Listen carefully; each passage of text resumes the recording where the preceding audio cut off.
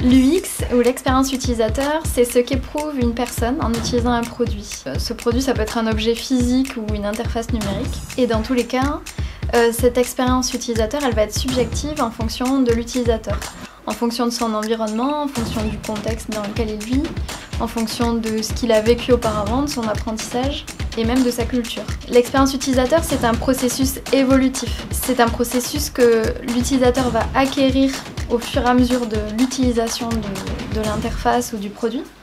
Et il va gagner petit à petit en expérience et euh, en, réflexe à l'utilisation. L'UX va être totalement à adapter en fonction des différentes personnes qui utilisent nos produits, qu'elles soient expérimentées ou non.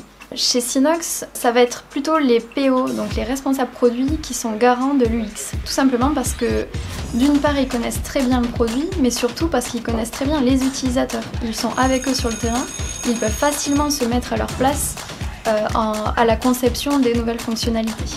Chez Sinox, nous sommes convaincus qu'un bon design d'expérience utilisateur est un outil puissant pour l'adoption de nos utilisateurs l'adoption des utilisateurs à nos produits. Et plus largement, c'est un outil très puissant pour l'expérience client dans son ensemble. L'expérience utilisateur va agir comme une sorte de catalyseur de confiance durant toute cette relation.